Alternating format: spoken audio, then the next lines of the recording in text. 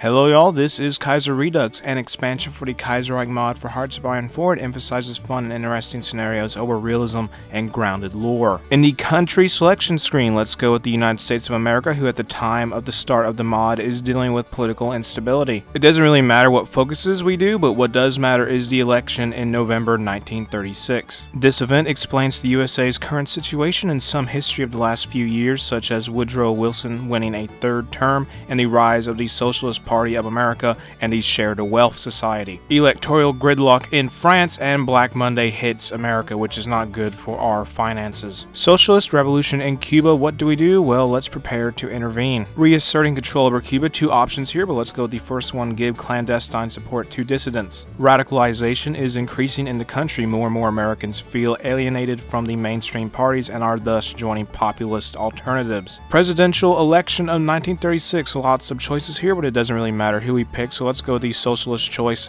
Bill Haywood. William Haywood, known as Big Bill, leads the USA now, and with him in charge, the ruling party ideology has become syndicalist. Ernest Gruening makes a speech in favor of Alaskan statehood. His speech falls on deaf ears, and the event reads, Sorry, Alaska, we have bigger things to deal with. A new hope for Alaska, be loyal to America or go independent. Let's go with the latter by clicking on What Has America Ever Done for Us. One more event about Alaska going independent, we will select North to Alaska, switching our country from the United States of America to Alaska, who we will play as from this point forward. We're on our own, so let's look at our national spirits, beginning with the Alaskan Syndicate, Alaska, the last frontier, and lastly, American refugees. We'll start the focus tree with Alaska, the last frontier, and at some point in time, eventually start dealing with the buyout, which is just below Alaska, the last frontier, once the Syndicate buyout has begun. Nice, a big super event about Alaska leaving the Union. This is truly a new dawn for the last frontier. Our new state must be aware of the two countries vying for influence over Alaska, those countries being Canada and Japan.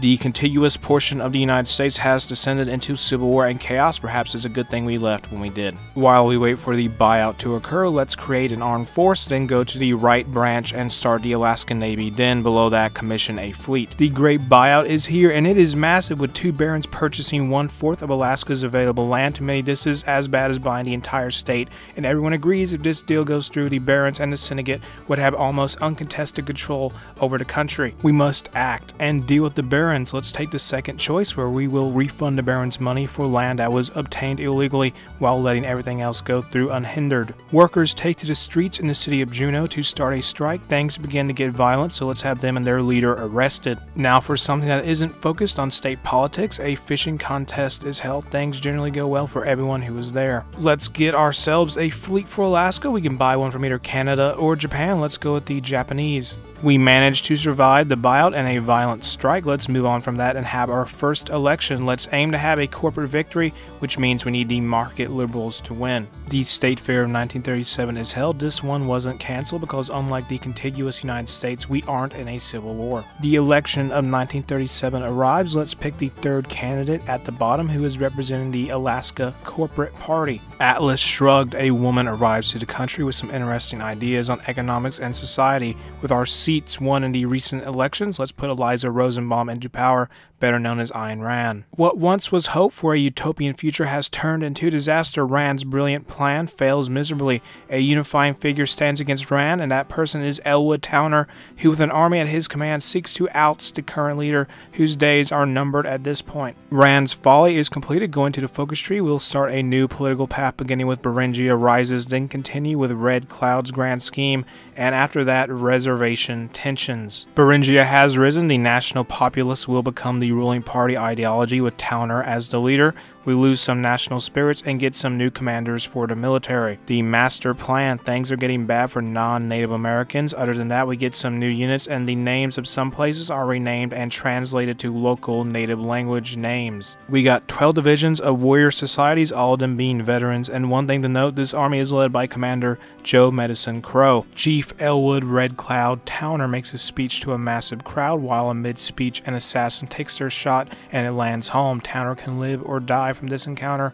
Let's go with the latter option so his successor will secure power and take his place. Joseph Medicine Crow uses the opportunity to become the new leader of the country. He is a member of the Crow people. He fled the fires of the Second American Civil War and came to Alaska, integrating himself into Red Cloud's administration, proving himself as a brilliant scholar and historian, as well as gaining the reputation of a fierce warrior. Joe Medicine Crow historically was a war chief historian and author of the Crow Nation of Native Americans. He became a war chief in World War II by completing all four tasks required of the role, and in 2009 would be rewarded with the Presidential Medal of Freedom.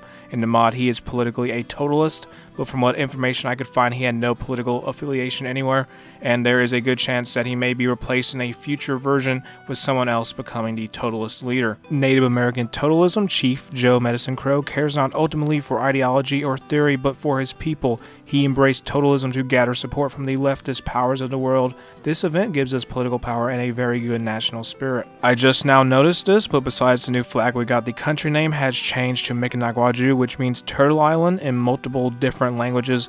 Turtle Island itself is a name used by some Native Americans to refer to North America or the entire world.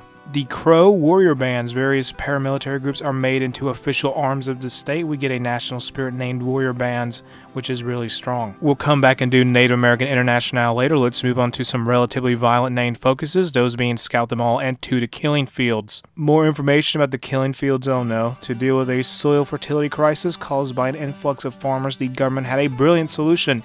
So brilliant, in fact, they tried to hide it at all cost. Well, the secret was found by one family who discovered body parts in the ground. The marks of a true warrior scalping has apparently become part of the initiation into manhood, which a Canadian soldier found out too late. This event gives us political power and an okay national spirit. To the south, the Second American Civil War rages on. It looks like the Pacific States of America may be the victor unless someone intervenes, with one faction dying, another one clinging on, and the other two seem to be stuck in a stalemate. While five factions fight for dominance, New England is just spectating. The Great Raid, wow, this focus event has a lot of effects. We get war goals and cores, it seems, on all of North America. That's amazing. We're striking at the Kingdom of Canada and the Entente first because they're right next to us and the faction is occupied fighting somewhere in India. The Great Raid event I think also may have spawned a large army made up of hordes and warrior bands that are all veteran level and gave us 78 in total. We also now have something called the Great Canoe Fleet. I'd like to see the enemy's face when they find out we have canoes that shoot torpedoes. It will blow their mind and their ship away. If we move quickly enough, we should be able to secure some Canadian territory before they get back to fight us. The first country to lose the Second American Civil War is the American Union State. The chief holds a meeting in what was once Juneau to meet with fellow totalist natives from across the Americas. This event gives us political power. To bolster our army, the Alaskan Territory Guard focus was completed, giving us four divisions of the aforementioned Territory Guard. Canadian soldiers respond to our advance to the east and they're also trying to land naval invasions on us. And and Ideal Paradise. We get political power and the national spirit Turtle Island freed, giving our divisions more organization and attack. We push through Canada, took Montreal, and Toronto will fall to us next. We gotta fight through New England too, which just so happens to be led by H.P. Lovecraft in this playthrough. The Entente is moving to reclaim Europe. That's pretty awkward because the Kingdom of Canada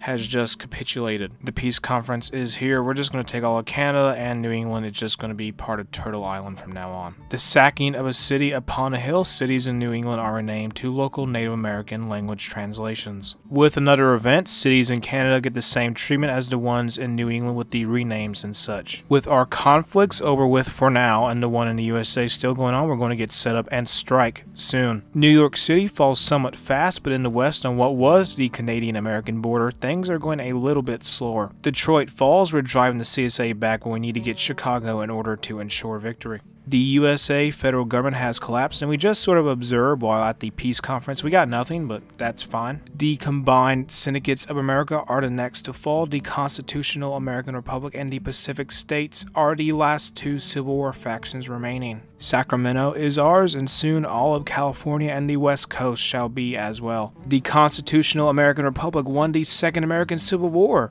or did they? No, they did not. Our next targets for attack are the United Mexican States and Cuba, who is a part of the Third International, but at this point that's a bear I don't mind poking. Cuba is defeated, it will be a useful launching pad to take out Haiti and the neighboring Dominican Republic. An ideal paradise, a lot of cities in the former USA are renamed to local Native American translations. We're using naval invasions on Panama, and the bad news is we want to get Costa Rica too, but they're guaranteed by the German Empire. Turtle Island soldiers land in North Africa to fight the French, who we are still at war with due to them being a member of the Entente. Using military access from the Reichspakt, we successfully land troops in Britain to battle the key Third International member. To crush the Entente once and for all, we are visiting the Austrasian Confederation, who is the last remaining major faction member. Bad news for the occupied Reichspakt, the German-Japanese War has begun. Using Great Britain, we land armies in the Commune of France with the goal of beating the Internationale. We justified a war goal on the German Empire, so we're going to attack them. The reason we're doing this is because we don't want Costa Rica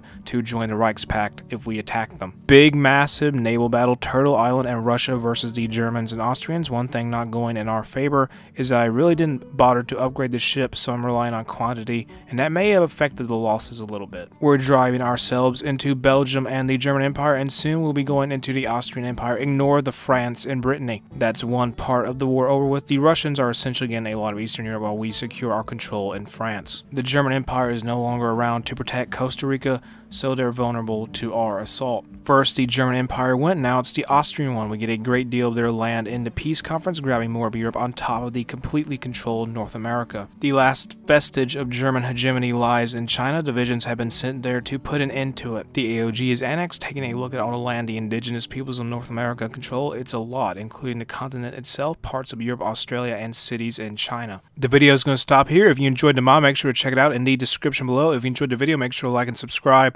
Leave a comment. Have an awesome day. I'll see y'all later. Bye.